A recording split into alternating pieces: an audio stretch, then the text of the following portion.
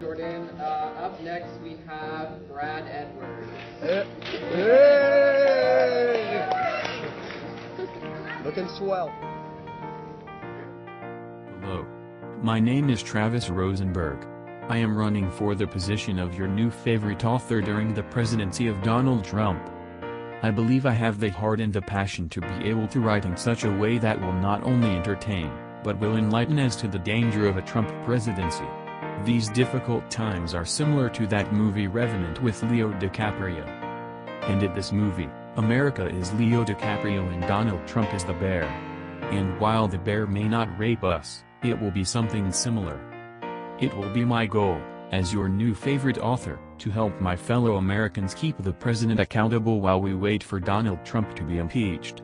And I can guarantee that no other author, not even J.K. Rowling's or Joel Osteen, will work harder during this time than me. My books are all available at major bookstores, Amazon, and even those novelty shops on the shady side of town. Thank you for your support. God bless you and God bless America.